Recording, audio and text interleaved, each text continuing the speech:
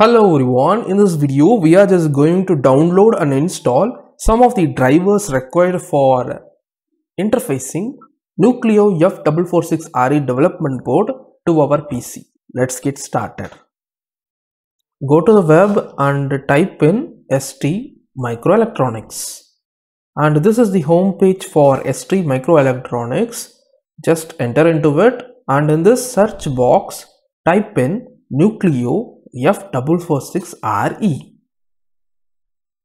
and here you can find the Nucleo F446RE which is the development board that we are going to use throughout this course.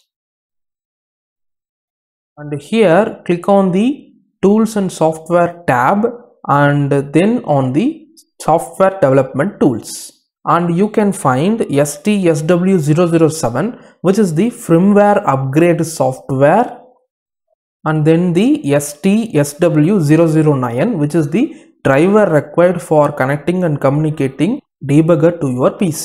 You must install these two softwares definitely. Just click on this one particular link. And here you just want to select the version.